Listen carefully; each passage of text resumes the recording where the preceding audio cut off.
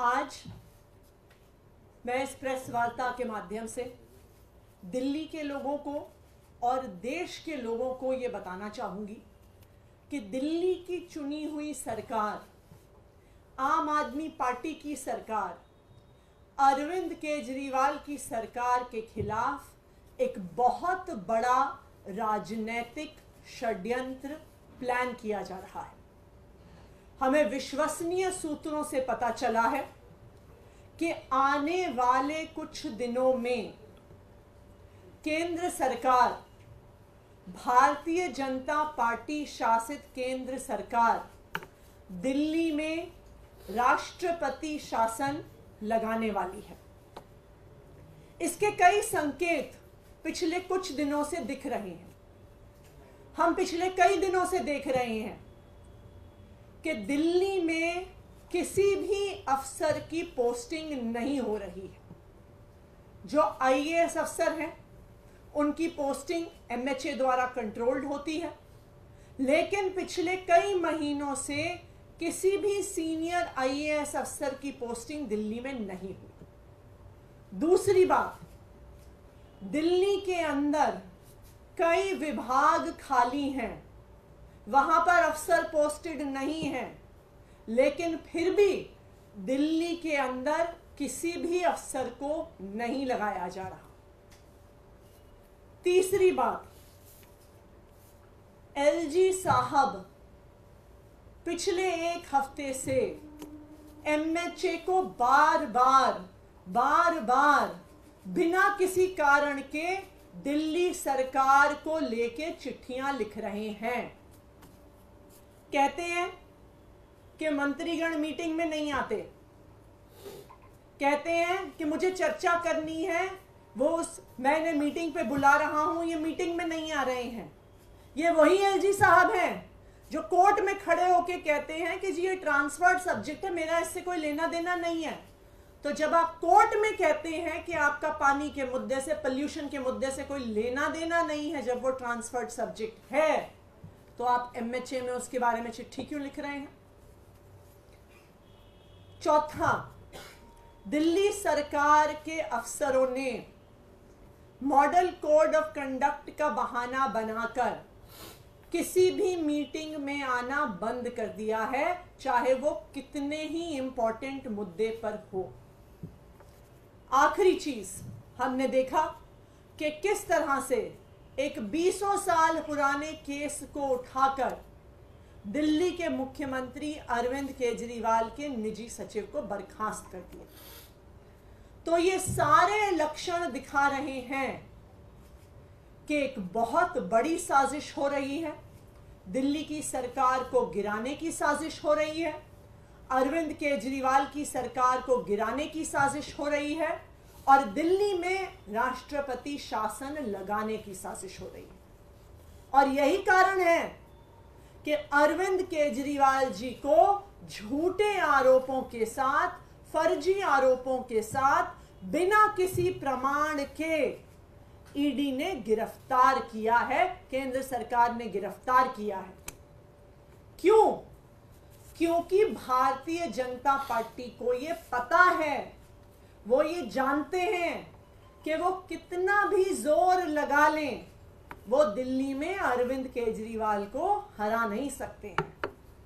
उन्होंने ये देख लिया है कि चाहे 2013 का चुनाव हो, चाहे 2015 का चुनाव हो, चाहे 2020 का चुनाव हो, या 2022 में हुआ एमसीडी का चुनाव हो, कि दिल्ली के लोग अरविंद केजरीवाल से प्यार करते हैं दिल्ली के लोग आम आदमी पार्टी को पसंद करते हैं और दिल्ली के लोग भारतीय जनता पार्टी की हर संभव कोशिश के बाद आम आदमी पार्टी को ही वोट देते हैं, अरविंद केजरीवाल को ही वोट देते हैं। तो अब बीजेपी को पता चल गया है। अब इनको पता चल गया है कि ये दिल्ली में चुनाव जीतने वाले नहीं हैं, इसलिए ये लोग साजिश कर रहे हैं कि दिल्ली की चुनी हुई सरकार, दिल्ली की चुनी हुई लोकप्रिय सरकार अरविंद केजरीवाल की सरकार को गिराया जाए। दूसरा कारण, अरविंद केजरीवाल की सरकार के खिलाफ जो ये षड्यंत्र हो रहा है, वो है अरविंद केजरीवाल की सरकार के काम।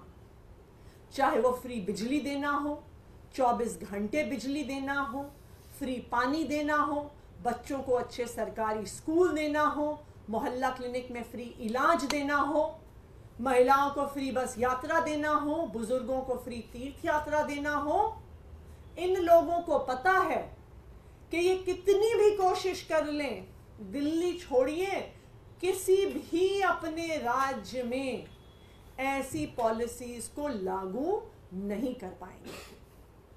सबसे बड़ा इनको खतरा हो रहा है अरविंद केजरीवाल जी के वादे से, जो इन्होंने दिल्ली की महिलाओं को अरविंद केजरीवाल जी ने वादा किया है कि हर महीने हज़ार रुपए दिल्ली की हर महिला को मिलने वाले हैं।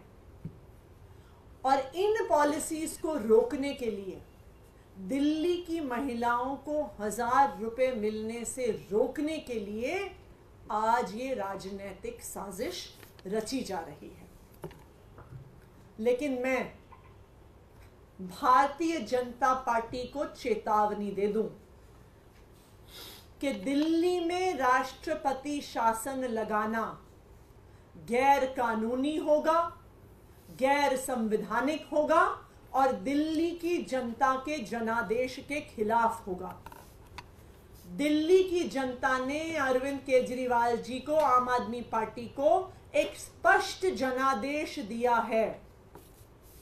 इस जनादेश के तहत कुछ ही दिन पहले 17 फरवरी को, दिल्ली विधानसभा में फ्लोर टेस्ट करके कॉन्फिडेंस मोशन लाके, अरविंद केजरीवाल की सरकार ने अपनी मेजॉरिटी को साबित किया है।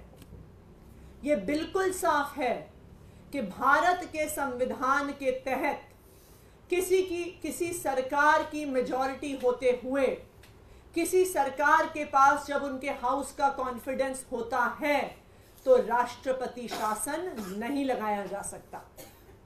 2016 में भी उत्तराखंड में जब राष्ट्रपति शासन लगाया गया था तो उत्तराखंड हाई कोर्ट ने फ्लोर टेस्ट ऑर्डर किया था और सरकार के पास फ्लोर टेस्ट में कॉन्फिडेंस मोशन सक्सेस होने के बाद राष्ट्रपति शासन के आदेश को खारिज कर दिया गया था।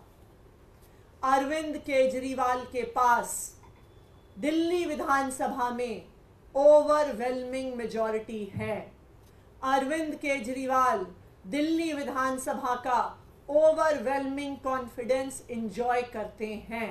तो मैं भारतीय जनता पार्टी को ये बता दूँ कि अगर आप ये राजनीतिक साजिश करने की कोशिश करते हैं तो वो गैर कानूनी होगा, गैर संवैधानिक होगा और दिल्ली की जनता के स्पष्ट जनादेश के खिलाफ होगा। दूसरा, मैं दिल्ली के लोगों को भी बताना चाहती हूँ कि आपको इन राजनीतिक साजिशों से डरने की ज़रूरत नहीं है। जब तक अरविंद केजरीवाल जी दिल्ली के बेटे के तौर पे खड़े हैं, चाहे वो जेल के अंदर हो चाहे वो जेल के बाहर हो। वो दिल्ली वालों के हक की लड़ाई लड़ते रहेंगे। चाहे हमें इस लड़ाई को सड़क पर लड़ना पड़े, चाहे हमें इस लड़ाई को कोर्ट में लड़ना पड़े, चाहे हमें इस लड़ाई को संसद में लड़ना पड़े, लेकिन दिल्ली वालों को उनका हक मिलके रहेगा। दिल्ली की महिलाओं को जो अरविंद केजरीवाल जी ने हज़ार रुपए महीने देने का वादा किया है यह अरविंद केजरीवाल की गारंटी है। दिल्ली की महिलाओं को हज़ार रुपए महीने ज़रूर मिलेंगे। चाहे भारतीय जनता पार्टी कितने भी षड्यंत्र कर ले, चाहे आम आदमी पार्टी की सरकार को गिराने की, राष्ट्रपति शासन लाने की, कितनी भी कोशिश कर ले, लेकिन अरविंद केजरीवाल, दिल्ली की महिलाओं को उनका हक, दिल्ली की महिलाओं को उनका हज़ार रुपया महीना दिलवा के रहेंगे। थैंक यू ये जो बातें आप कह रही हैं ये पहले से ही आप लोग आरोप लगाते रहे कि सरकार के काम में बाधा उत्पन्न की जाती है ऐसे करके। तो इसमें ऐसा क्या है कि आपको आशंका है कि राष्ट्रपति शासन नहीं लगेगा?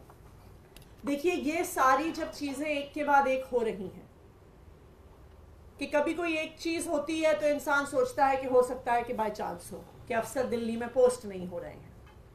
उसके बाद दूसरी चीज़ हमें दिखी कि बहुत सारे प्रमुख विभाग खाली होने के बाद अफसरों के सीनियर अफसर तीन तीन, चार चार बड़े विभाग होल्ड कर रहे हैं। लेकिन फिर भी दिल्ली के अंदर पिछले कई महीनों से कोई ट्रांसफ़र पोस्टिंग नहीं हो रही।